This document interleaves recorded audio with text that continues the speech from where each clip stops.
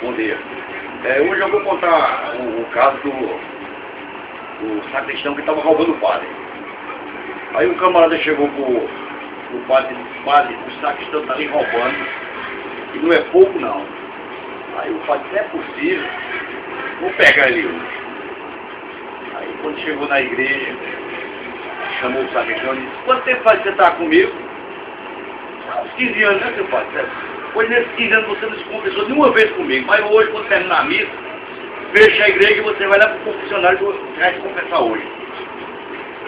Passou, terminou a missa, o sacristão fechou a igreja e o padre já estava sentado lá no confessionário. Aí o sacristão chegou do lado de fora, aí o padre começou a falar pelo lado direito do confessionário. Quem é que está roubando o padre? Aí o sacristão falou, hein, do lado de fora. Quem é que está roubando o padre? O sacristão, hein? Você não está me ouvindo, não? Hein? Cabra, safado, 15 anos você vem me roubando, eu estou sabendo já que você vem me roubando. E o sacristão, hein?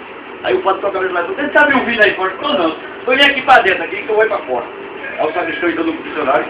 Aí o padre disse, fala alguma coisa aí para ver se eu estou escutando. Aí o sacristão quem faz 15 anos que vem comendo a mulher sacristão, o padre hein? Vá-se embora que você não tem pecado não.